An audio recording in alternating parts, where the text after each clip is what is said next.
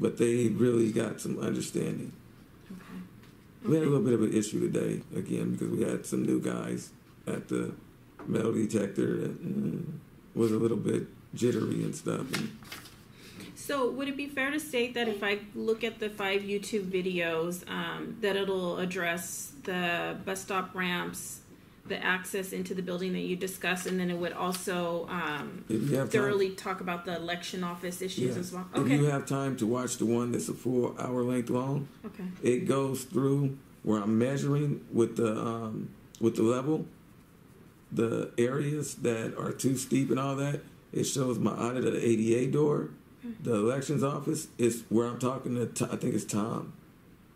Tim, whatever his name is, and the supervisor in the elections office. And I actually pull the monitor on the screen out and show him how it could just be moved to make it more accessible. All of that's on that in that video and on okay. film. Okay, so I'll do that if if you think that's a good idea. I'll go back, review the videos, and then um, I'll reach you at. Sorry. Six six one. Three one four one four eight five. Okay.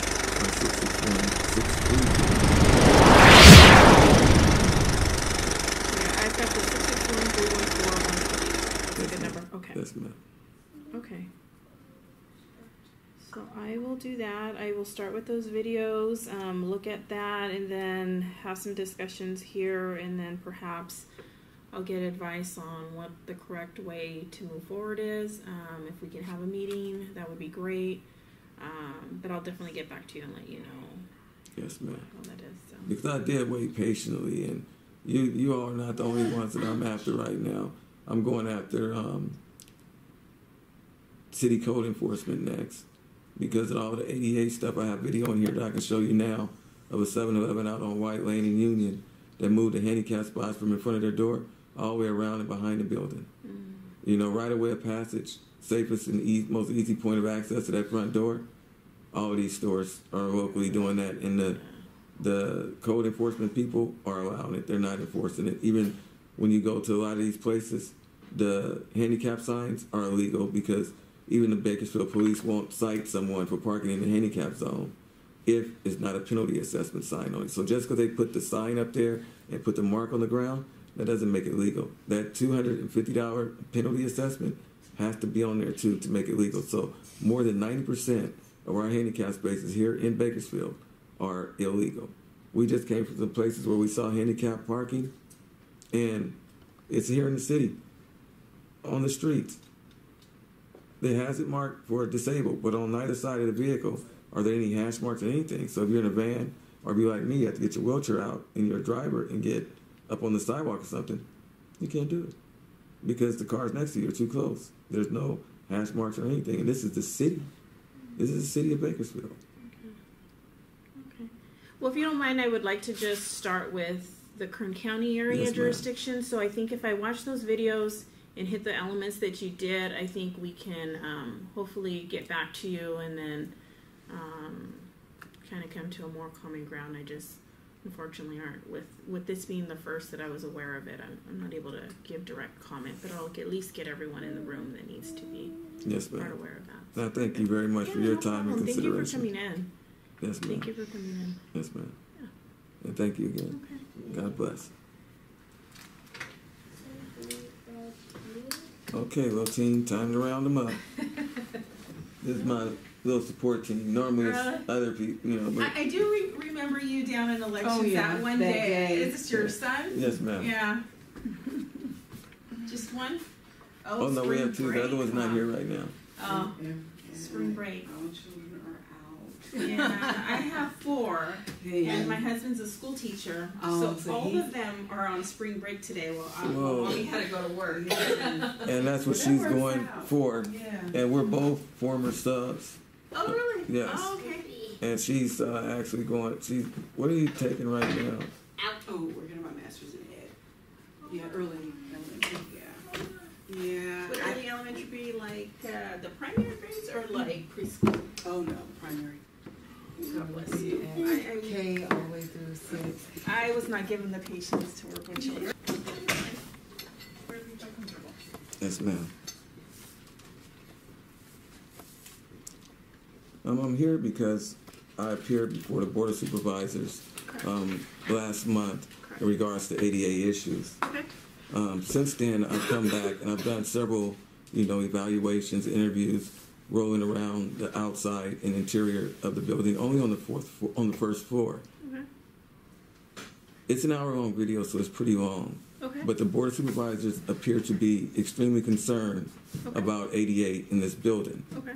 The crucial portion of that video is the last 25 minutes of it. Okay. And that shows the direct access and the lack of access coming from the bus stop over there, where the main entrance used to be, mm-hmm.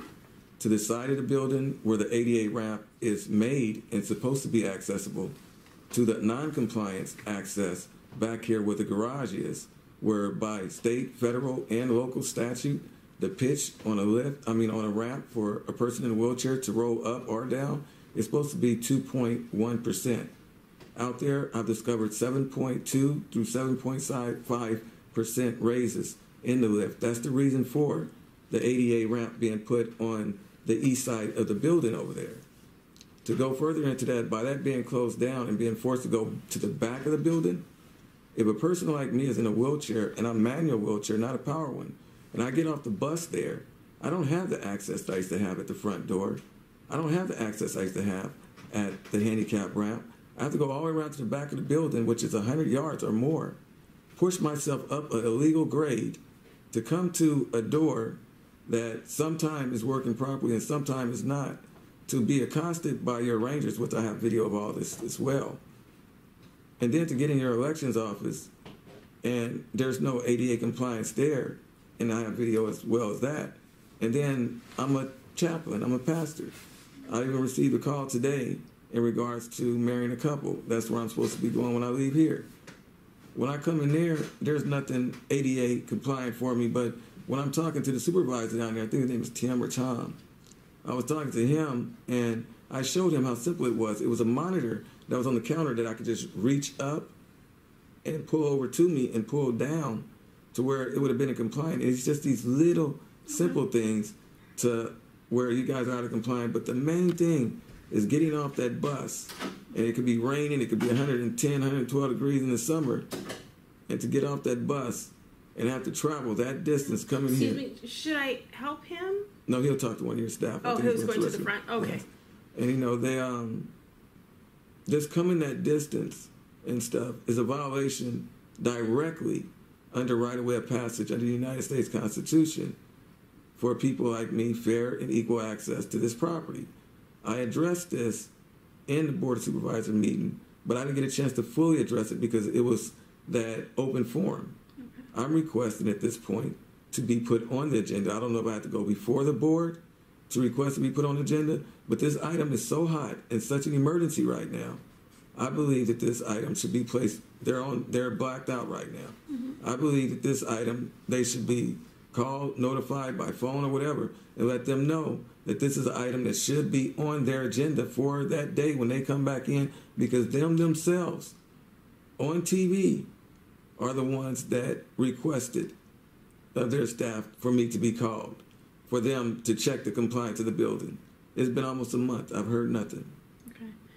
Um, I, I'm not completely familiar with your situation, but what I would like to do is if I can get your contact information so I can work with some people here at the county and then perhaps maybe arrange some kind type of meeting to where we can all come to the table and figure out what's the best avenue for it. I don't really honestly have that answer for you, but it's something I could look into and then get back to you. Yes, ma'am. Yeah, because I know we have met before Yes, um, that one day, and I tried my best to, um, you know, make the accommodations, and I know that issue was resolved. So I would like to continue doing that to see what your specific issues are, um, and obviously get everyone in the room so we can see what the best way to address it. Yes, ma'am. Yeah. Because it's not Yeah. just here. You know, the county is really, really out of compliance in a lot of areas. Just like I said before, I am the one, and I'm really not your your county, so I can't disclose it to you. I'm the one that sued Kern County, Kern Medical Center, and we dropped the suit based on compliance, and we didn't want to hurt the county for funding, just for attorney fees and stuff like that. I didn't receive anything for it or any compensation or nothing. Because we were going after the county for changes, not for finances. And that's what this is. I'm not, I don't even, I had attorneys represent me for the elections from Washington, D.C., because none of the attorneys here really know Constitution. And then, what, you know, ma'am, I have a very serious problem. All of these employees and these elected officials are sworn by our United States Constitution, but none of them know it. If I was to sit down and do one of these interviews with any of our council members, maybe one out of the lot of them would be able to discuss the Constitution with me. I run into this not just them, with even police officers. All government officials are sworn by the United States Constitution, and none of them know it. Mm-hmm. And they Yeah. violate people's rights. Really? Well, I, I apologize for you feeling that way, but it would obviously take um, getting the right people in the room to have that discussion. Let me take down a few of your points just so that Yes, when ma'am. I do get your information in meeting, I can know maybe a few topic areas. I can get that for you. That's fine. Um, Oh, thank you. okay. Um, so that way, as I'm gathering people, make sure I'll make my best attempt the first time around to get the right people in in the building. So, the first one, can you go over the anything specific that you want kind of addressed at the meeting? The ADA access At the bus stop? from, the bus stop to the front door to the ADA ramp to the actual point of entry. Okay, door. So you made comment of the front entry, which is now locked, Yes. and there is now an issue as going around through the back through the security. Well, actually, in between that, the front door, and then there's a ADA ramp at the east side of the building that is not being used. That's designed and made and placed there tens of thousands of dollars, and it's not in use. Okay, and so the entrance from the rear, which be would be the south side of the building. Yes, what a parking You're, structure you're finding accessibility issues from that extreme. point. Okay. The points of level, which in compliance with state, federal laws would be a 2.1% pitch elevation or the, the elevation. Okay. And it's actually in some points 7 to 7.5 degrees instead of 2.1. It's that far out of compliance. And then the counters in the election offices, there are none, none that are ADA compliant. Even the boards and stuff to um, go up to to log in and do your information electronically are all up on the wall where a person in a wheelchair can't reach it. Even the drop box to drop in mail and stuff is not in compliance with the level of ADA requirements. The um, accessible tables over in the registrar's office for marriages and stuff like that to get your certificates. Their height and level, yes, they're fine, but they have movable barriers in the way. When you come up to it, there's chairs there, and I have a video that shows that the chair was in my way, and the lady that was sitting behind the desk, she didn't get up and come move. She had no intention to. She just sit there. I literally had, you can see me on video, moving the chair, pulling the chair out the way, rolling up there, and her just sitting there, you know, doing her thing, not paying attention to me or anything else. And, you know, I'm like, wow, really? You know, I didn't get any help, you know?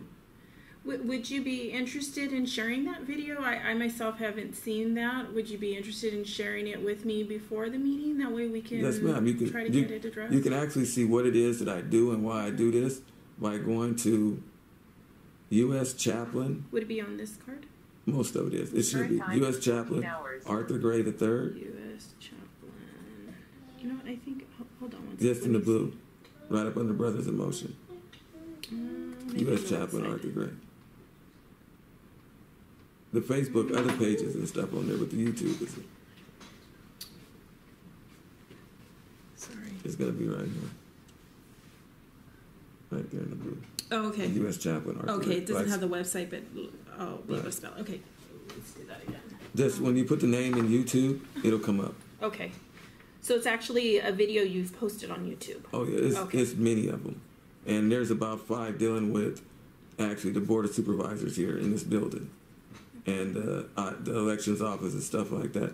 There's quite a few that's specific to this building and the board of supervisors. Okay, so if I go to YouTube, um, U.S. Chaplain Arthur Gray the third. You don't have to put the third, just U.S. Chaplain Arthur Gray, and it'll come up. Okay. And you said five videos It may. Kern County. It's oh, they're all this building. Yes. Okay. Okay. Even We'll some of my interactions with your rangers down there, the first ones and stuff were unpleasant the way that they treated me. But once I explained to them and they got talked to and coached by their superiors about ADA and my rights under the First Amendment to film and everything, you can see in the next video, the whole report atmosphere was different. They opened doors for me. They helped me, sir, this, sir, that. But at first it was like, get, get out of here. You can't do this.